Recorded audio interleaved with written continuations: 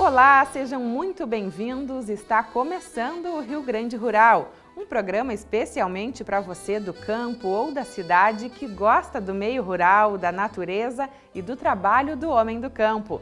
Nessa edição você vai ver. Em Sobradinho, na região centro-serra do estado, a parceria entre Emater e APAI envolve não apenas os alunos, mas também as famílias. 96ª Expofeira é realizada em Pelotas. Uma horta comunitária que está mudando a vida da comunidade Figueirinha no litoral gaúcho. E com os ingredientes da horta comunitária Figueirinha, vamos aprender deliciosas receitas.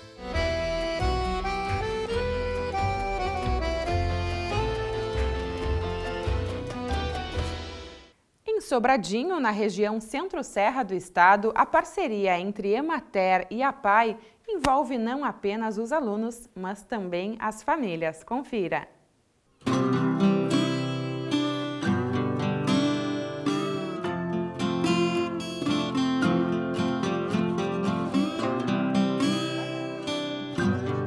Promover a cidadania e a inclusão social de pessoas com deficiência, com ações em educação e saúde, por meio de atividades que estimulem a autonomia, o lazer, o cuidado, a socialização e o bem-estar, além da identificação com o meio rural, são alguns dos objetivos do trabalho desenvolvido pela Emater Ascar em parceria com a PAI no município de Sobradinho.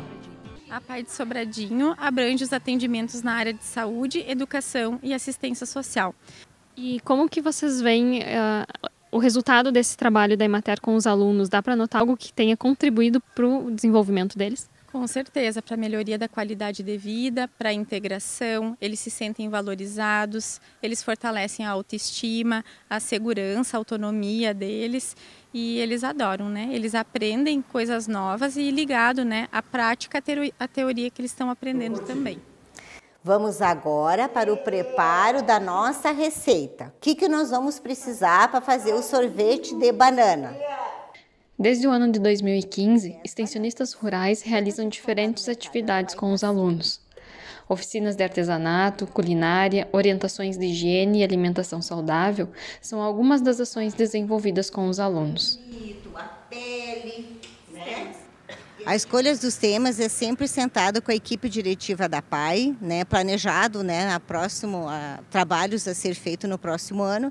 E a partir dali, então, a gente executa esse trabalho com as mães e com todos os alunos, né, o qual é trabalhado. São oficinas teóricas, práticas, bastante de visualizações para eles poderem entender né, o que eu vou repassar para eles. Tem bastante artesanatos, mas tudo conforme a possibilidade de cada um que pode desenvolver.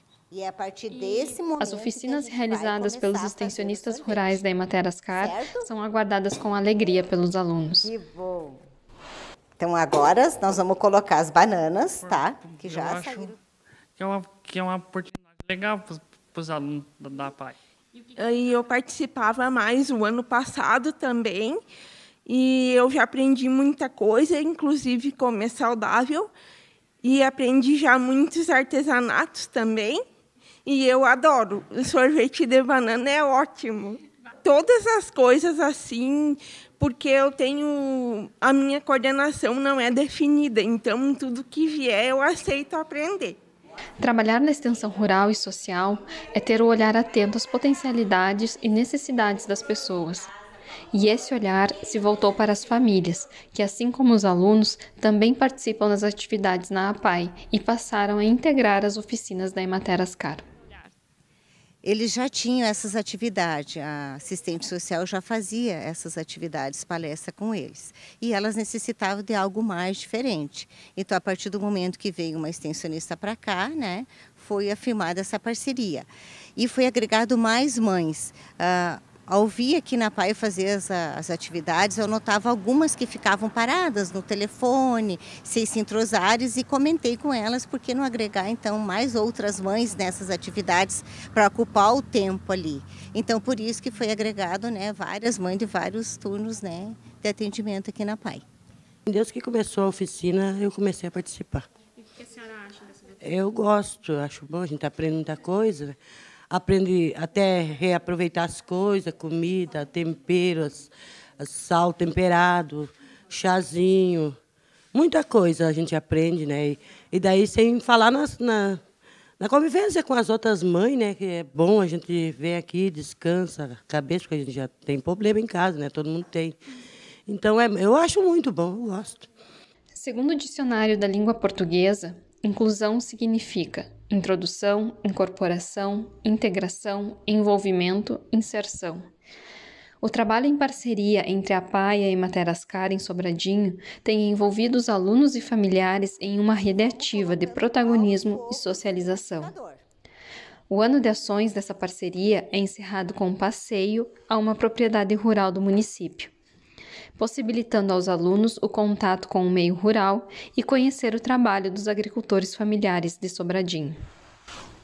A ideia foi deles conhecer um pouco o interior, como a gente em Maté trabalha bastante a extensão rural. Não foi feito há dois, anos atrás devido à pandemia, mas esse ano a gente pretende sim sentar em, com, em, com, a equipe diretiva né, e pensar no que, que a gente vai proporcionar para eles para encerrar as atividades do ano. São 60 pessoas integrantes das atividades com a Imater, entre mães e alunos. É dividido em vários dias, né, por pessoas, quantidade de pessoas. A temática usada é para todos, cada um nas suas possibilidades de desenvolvimento. Quero agradecer essa parceria para nós, enquanto instituição, é muito importante, né, essa parceria com as e Mater, para dar visibilidade também, né, tanto aqui para a instituição, para os nossos alunos, quanto para a comunidade dos serviços que são oferecidos.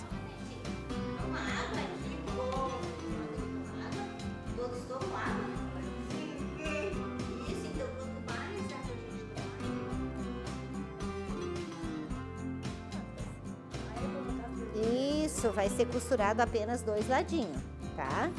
Mas é duplo, É duplo sim, é duplo. É duplo sim. Vocês dobrem duplo, meninas, tá? Para poder fazer. Isso. Depois do intervalo, 96ª Expofeira é realizada em Pelotas. A gente já volta.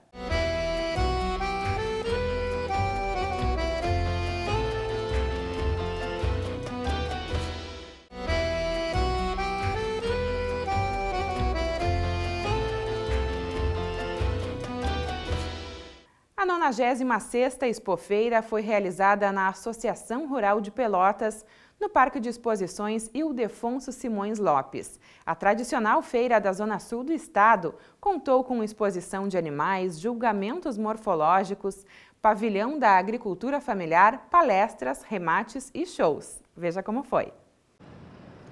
A primeira semana de outubro foi marcada pela 96ª edição da Expofeira Pelotas. Com o tema Agro é minha vida, agro é tua vida, a edição deste ano buscou aproximar o campo e a cidade. A feira contou com uma série de eventos, entre palestras, remates, shows, exposições de animais e estandes de visitação. Para o presidente da Associação Rural de Pelotas, o principal objetivo é construir um ambiente atrativo para trazer as pessoas de volta à feira. Então acho que vai ser uma feira completa, né? agraciados pela, pela possibilidade de fazer uma feira totalmente presencial depois de dois anos de restrição. É a principal novidade da feira, né? não tenha dúvida. Possibilidade de, de, de não ter restrição. Né? Mais de 120 mil pessoas, entre expositores e visitantes, passaram pelo Parque Idelfonso Simões Lopes. Ao todo, mais de 30 mil reais e duas toneladas de alimentos foram recolhidas através da entrada solidária e serão destinados ao projeto Mesa Brasil do SESC. Esta professora universitária do Rio de Janeiro visitou a exposição pela primeira vez e disse que com certeza voltará para as próximas edições. Eu estou encantada, estou simplesmente encantada. Tá agradável, vim com a minha família, passei, já comprei cordão, já comprei casaco, já comprei, já passei, lanchei, almocei hoje. Um programa para a família toda e, e acho que vale a pena. Durante a feira, mais de 5 milhões de reais foram movimentados durante os remates. Além dos leilões, outros 400 animais participaram das exposições. Na conferência rural, foram realizadas palestras, painéis, debates e seminários com temas voltados à agropecuária. Ao todo, Mais de 100 horas de programação abordaram temas como cultivo de grãos, ovinocultura, produção leiteira, equinocultura e pecuária de corte.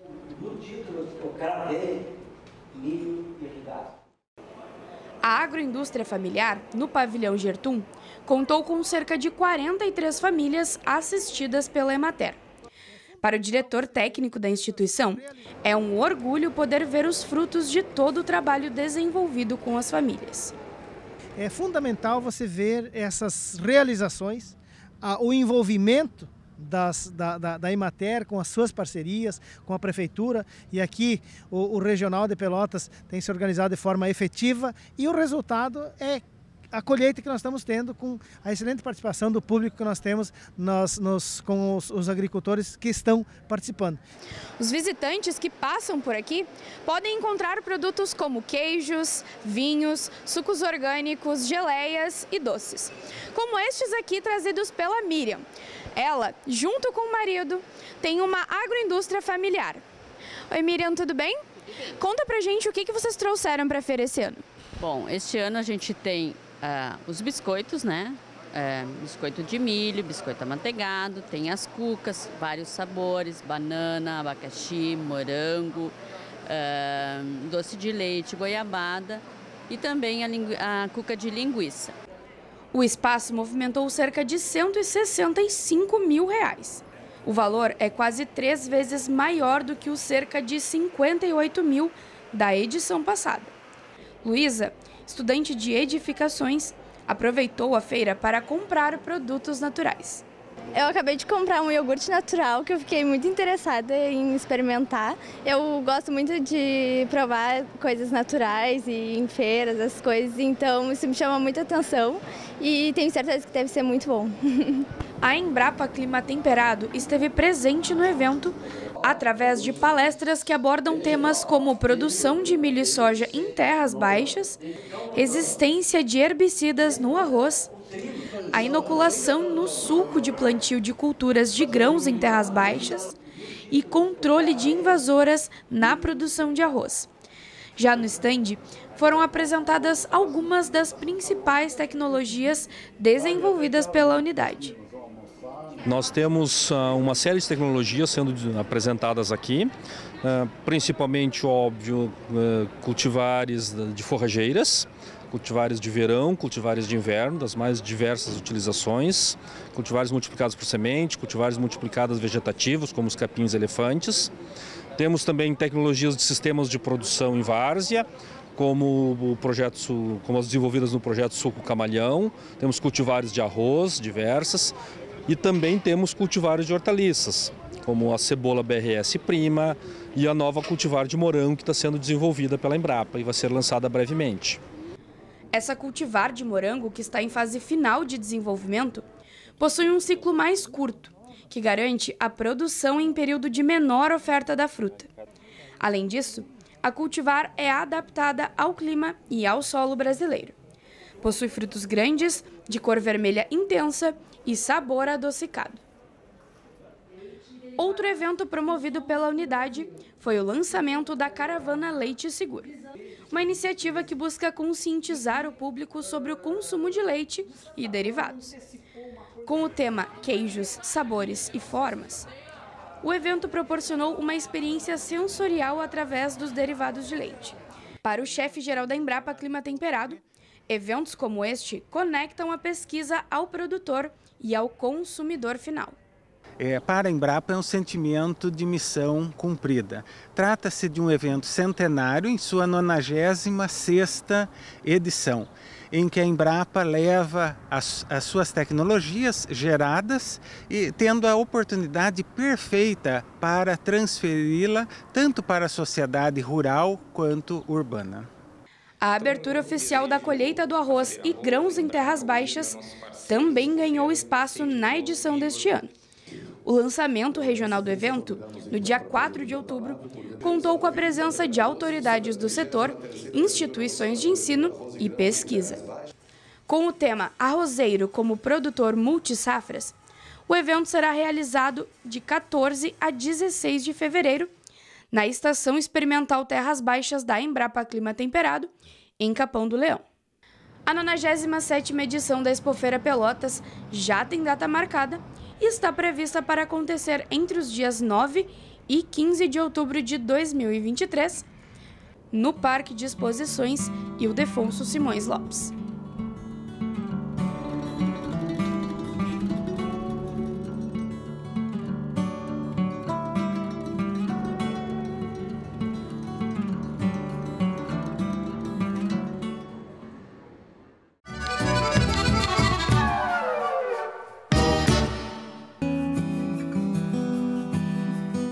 Amplo painel com palestras, relatos de experiências, mesas redondas, oficinas e apresentações artísticas com a intenção de manter ativa a rede de entidades voltadas para a agroecologia, promovendo debate sobre a agrobiodiversidade como ferramenta para a produção da soberania e da segurança alimentar nutricional.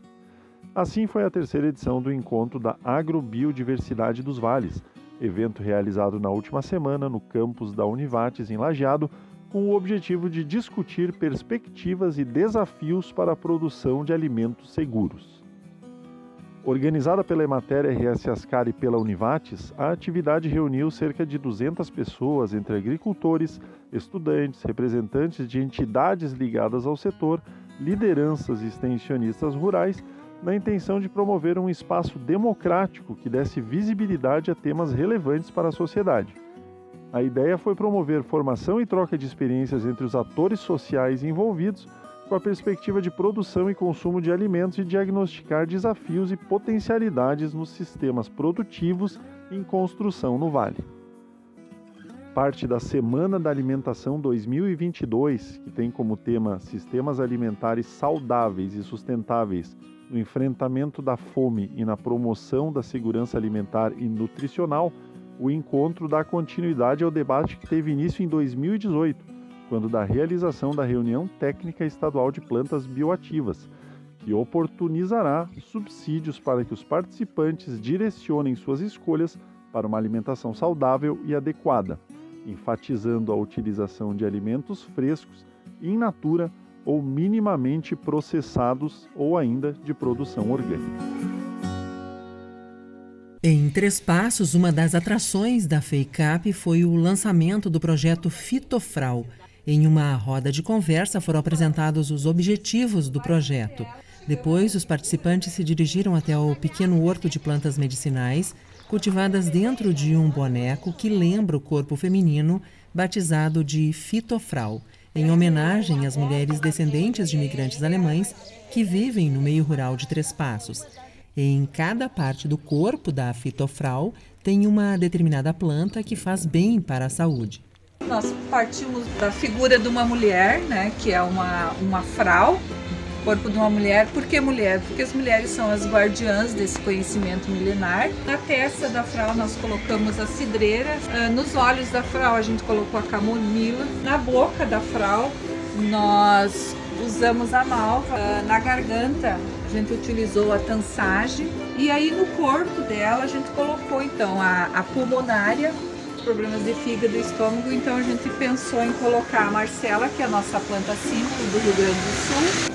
A gente colocou no centro ali no, no avental da frau uma planta muito comum nas casas das vovós e que está se perdendo, que é uma planta que a gente conhece por muta. E o nome dela, muta, ela tem a ver é, com o útero, né? E os alemães dizem que o útero é a mãe do corpo. São parceiros do projeto Fitofral a Prefeitura de Três Passos, a Ematerascar, o Conselho Municipal de Proteção ao Meio Ambiente, a Universidade Estadual do Rio Grande do Sul e o Sindicato dos Trabalhadores Rurais.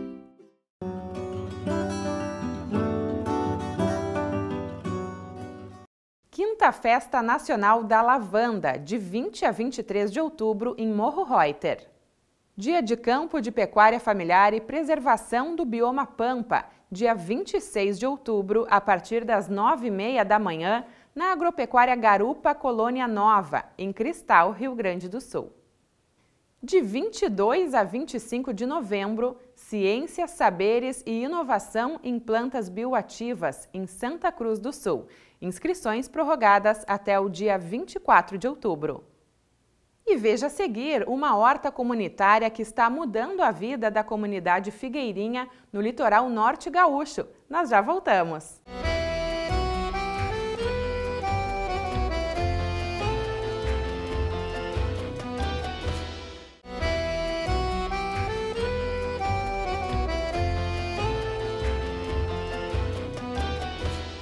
O mês de outubro é especial para a saúde. É nesse mês que acontece o Dia Mundial da Alimentação e também o mês de prevenção contra o câncer de mama.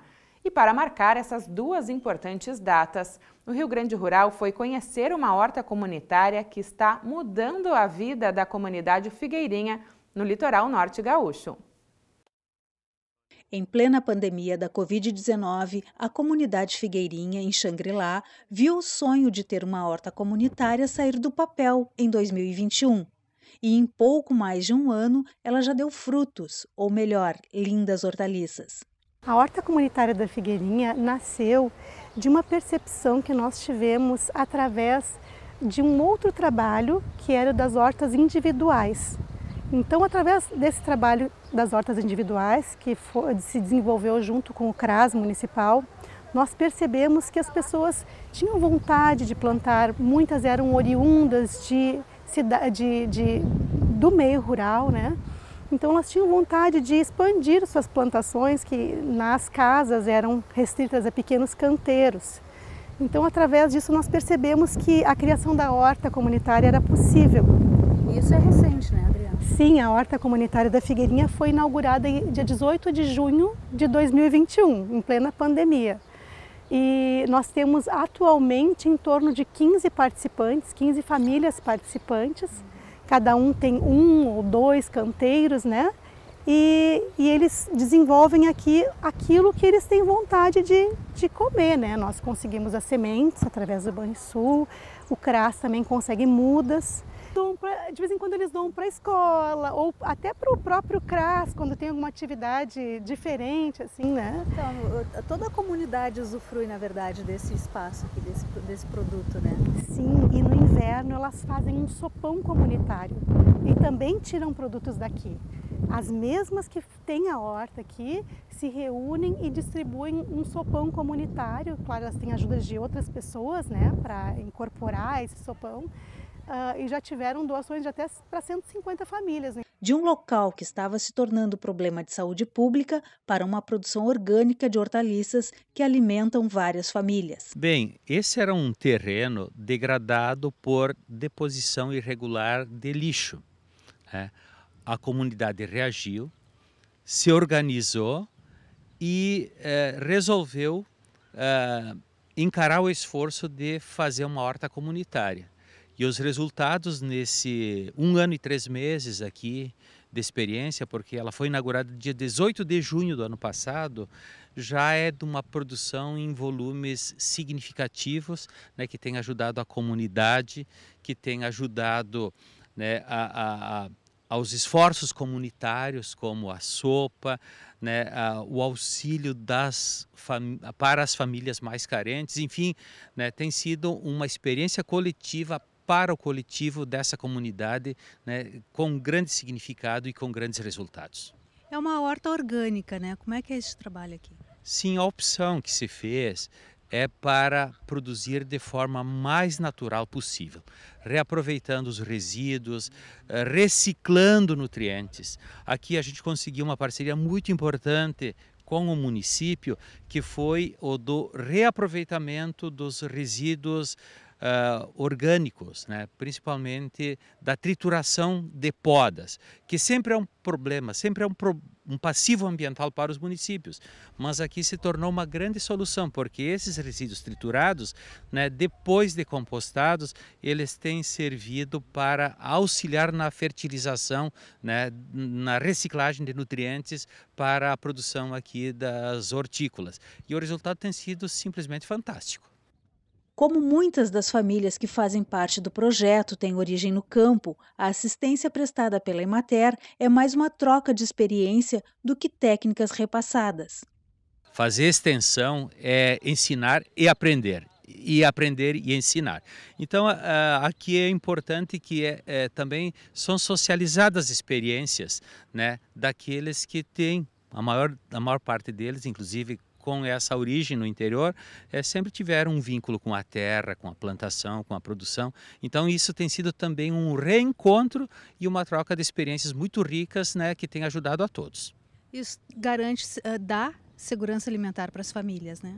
Com certeza, essa comunidade melhorou muito né, em termos de segurança alimentar, em termos de qualidade de alimentação, porque são produtos né, de uma uh, sanidade extraordinária, são produtos né, bem nutridos né, e que aportam uh, elementos para não só a garantia da segurança alimentar, mas como a garantia né, da saúde nutricional, da qualidade dos alimentos que é diferenciada. E a horta foi além do objetivo de alimentar o corpo ela alimenta também a alma. E uma coisa muito interessante, Raquel, que nós percebemos e uh, o relato deles de como a saúde mental foi uh, melhorou das pessoas, porque muitos tinham depressão, problemas, né, outros problemas relacionados à, à, à depressão, ansiedade.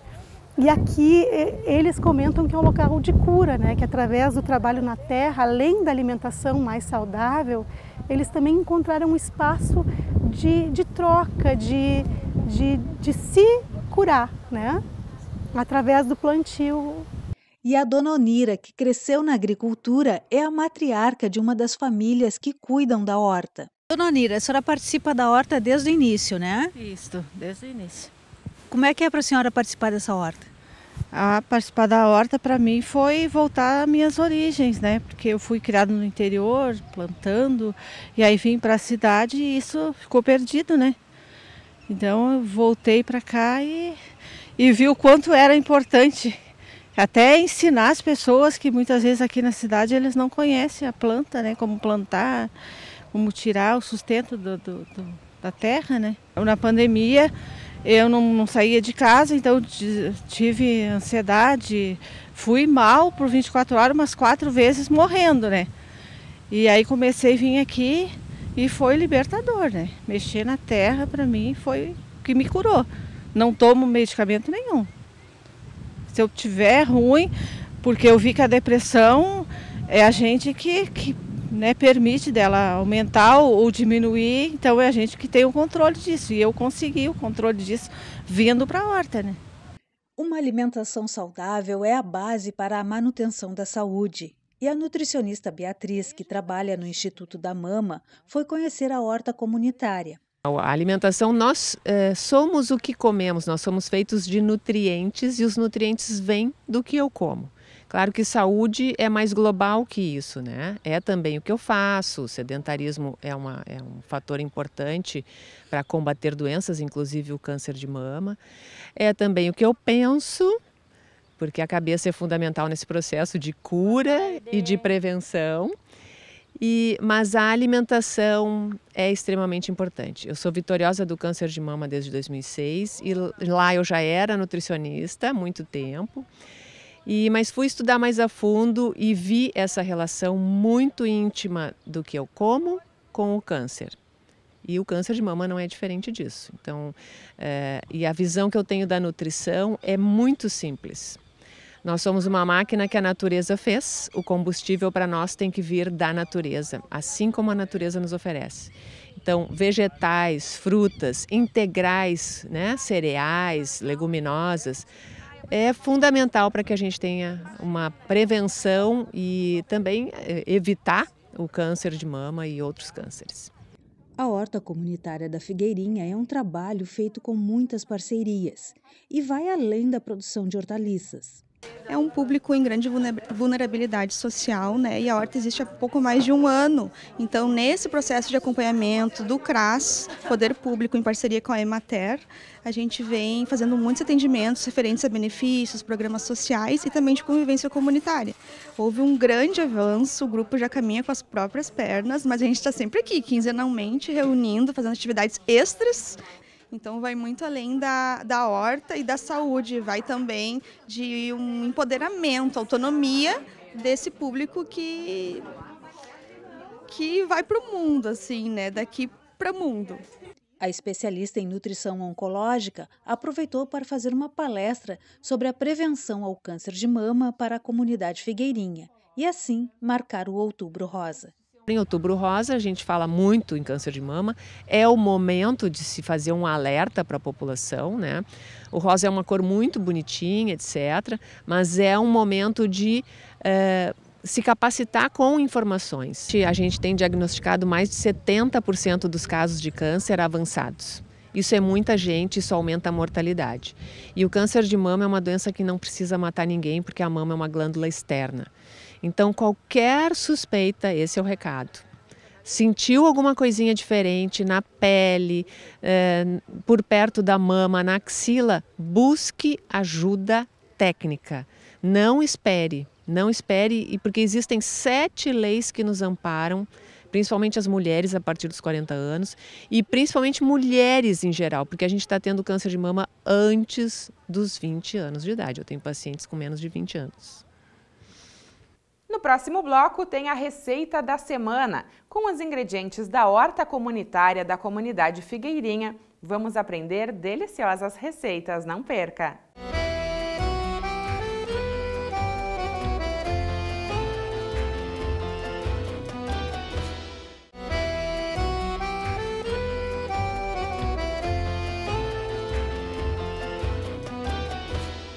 Com os ingredientes da horta comunitária Figueirinha que nós vimos na reportagem, vamos aprender deliciosas receitas. Confira!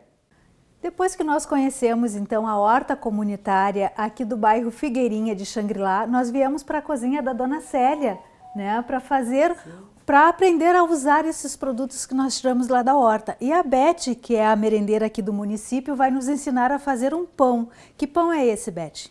É um pãozinho de cenoura ah, da cenourinha orgânica colhida da horta, então nós vamos usá-la com casca e tudo.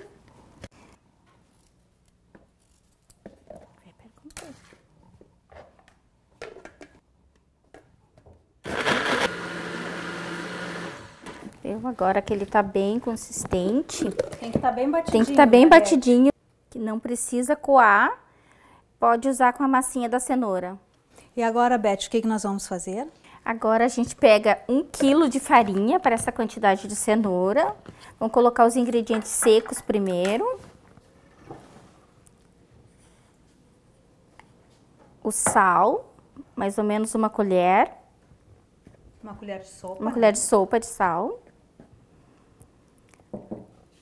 Açúcar. Pode ser três colheres de, de açúcar, daí ele fica mais docinho. Misturo.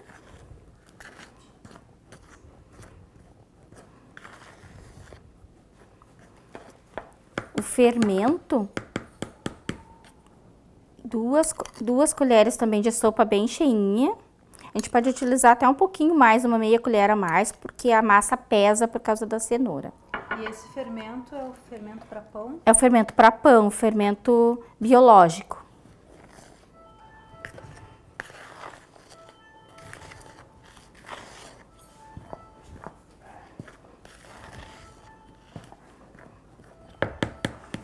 Mistura bem Mistura bem misturadinho para ficar bem todos os ingredientes. Aí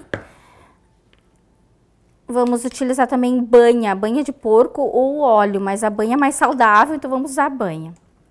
Vem duas colheres. Bem cheias. Bem cheias.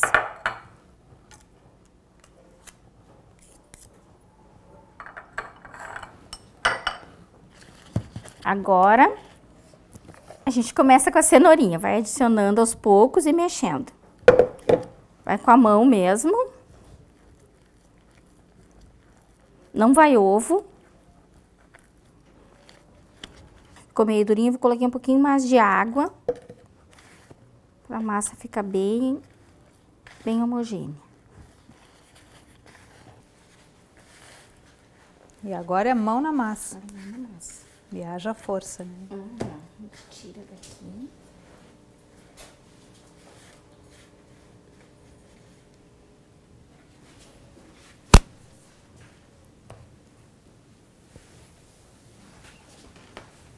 Posso tirar isso aqui também, Beth? Agora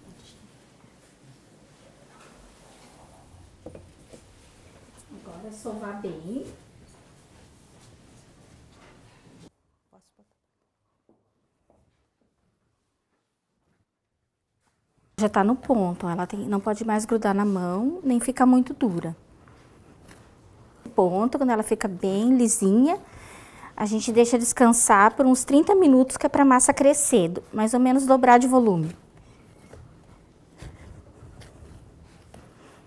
Precisa algum lugar especial? Não, Quentinho? faz uma, uma bolinha e pode colocar no, no, no próprio recipiente, na bacia.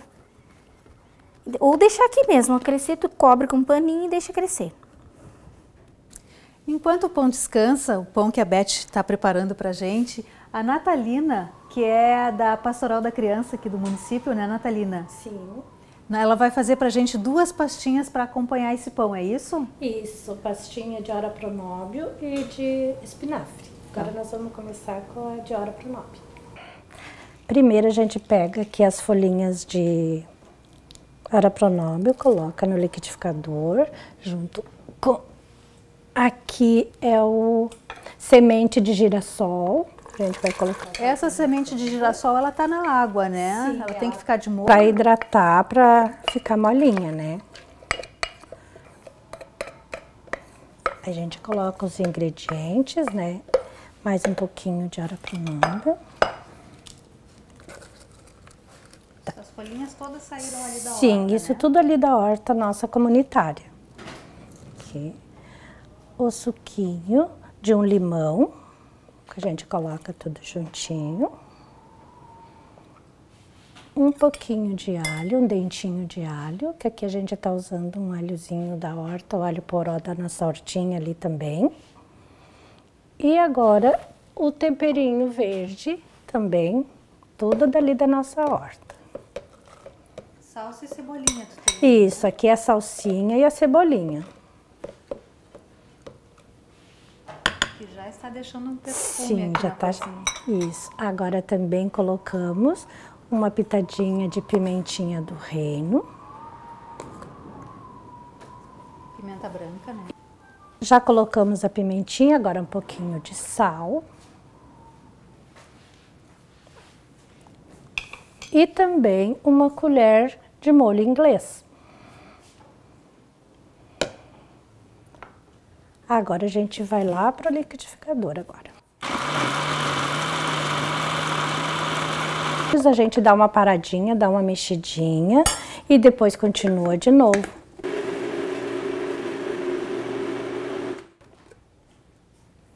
Prontinho o nosso patê. Já está pronto, Natalina, então, o patê? Sim, já está prontinho o nosso patê.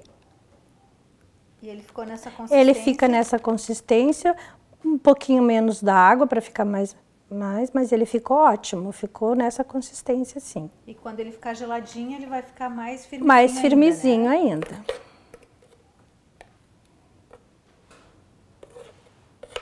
E o pãozinho, Beth, como é que está? Tá crescendo, tá quase no ponto. Esperar mais um pouquinho, Mais né? um pouquinho. Então, enquanto nós esperamos o pão crescer, a gente vai com a Natalina também fazer um outro patezinho para acompanhar esse pão. Qual é esse patê agora, Natalina? Agora nós vamos fazer um patezinho de espinafre. Primeiro a gente colheu lá da horta nossos espinafre, a gente coloca numa panela, né? Mais ou menos um molho de espinafre. O espinafre ele encolhe bastante, né? Ele reduz bastante, né? Reduz. Aí a gente vai reduzir mais ainda porque a gente vai colocar água quente em cima. Para ele dar aquela murchadinha.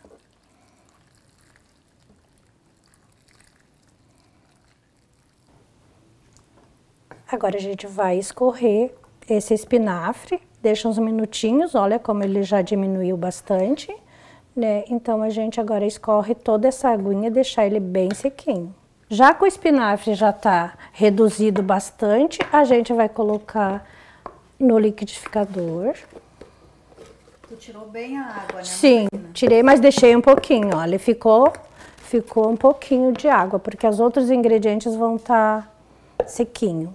Agora a gente coloca mais ou menos um dente de alho, ou alho poró, Algumas rodelinhas, né? algumas rodelinhas, o sal.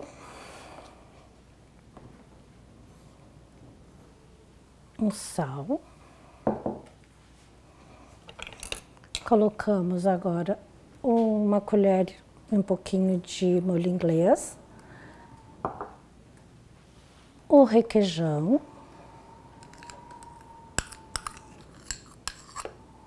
Aí tem um pote. De... Sim, aqui é um potinho de requeijão. E meia ricota. Não precisa toda. Meia ricota.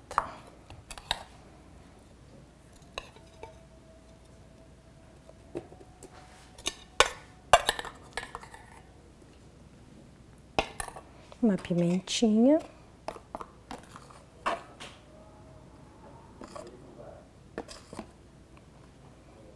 E um cheirinho verde também.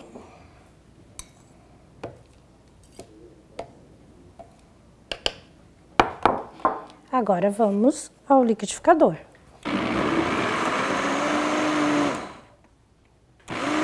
Devagarinho e vai misturando. Prontinho o nosso patê de espinafre, o nosso de espinafre. Ficou uma cor bonita esse patê, né? Ficou, ficou bem consistente, porque ele vai ficar mais durinho, porque ele tem que ficar na geladeira também, né? Então ficou perfeito. Enquanto o patê que a Natalina fez vai para a geladeira, nós vamos informar o pão, né, Beth? Sim. Vamos lá? Uns minutinhos, né, Beth, que a gente ficou preparando os patês e o pão chegou no ponto, é isso? Cresceu, sim, já preparei as formas, untadinha. Agora vamos dividir a massa. Vou fazer dois pães.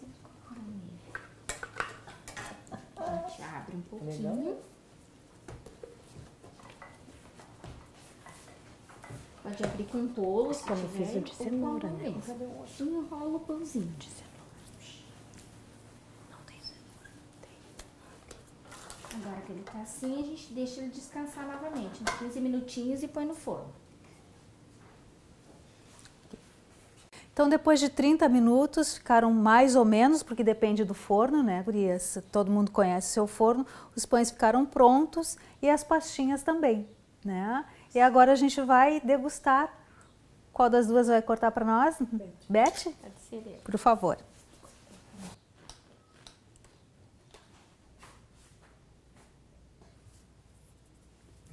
Maravilhoso esse pãozinho de cenoura com essa pastinha. E são muito nutritivos esses alimentos, né, Adriana? Sim, além de tudo de virem de perto, né? São comida de verdade. O espinafre, o oropronobis, a cenoura, todos alimentos que são super nutritivos e tirados daqui do lado, né? Que é o alimento de verdade. O quanto mais perto da gente, mais nutritivo ele se torna. Mais saboroso também.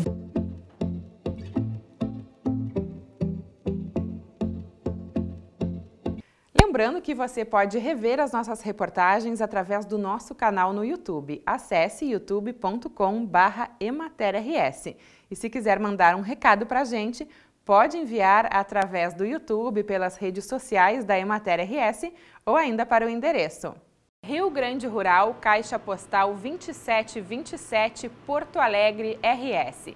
O CEP é 90 150-053 e o e-mail é rgrural@emater.che.br. Encerramos por aqui essa edição do Rio Grande Rural. Muito obrigada pela companhia de sempre e até o próximo programa. Tchau, pessoal!